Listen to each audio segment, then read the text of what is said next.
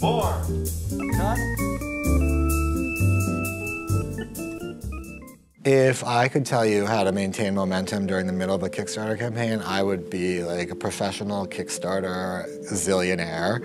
Um, I think it's probably the hardest thing to do in a Kickstarter campaign is to keep the money coming in during that plateau. And it's also the most emotionally frustrating part of the process because you're pretty sure you're doomed to failure at that point when certainly you're not. There are two spikes at the beginning and the end. The beginning, which is like it's new and it's you know, it's exciting and whatever, um, and you get like pub publicized or whatever. And then at the end, which is like, it's about to go away, hop on board uh, before it goes away. And I think that middle area uh, dragged for us and it drags for a lot of people. That's the phase which is probably most important to be updating the posting updates on the project, um, maybe sharing additional information. I think um, some of the really successful Kickstarter campaigns I've seen are ones where um, some really interesting tidbits about the making of the film or the goals of the film um, aren't necessarily in the main body of the campaign on the Kickstarter project, but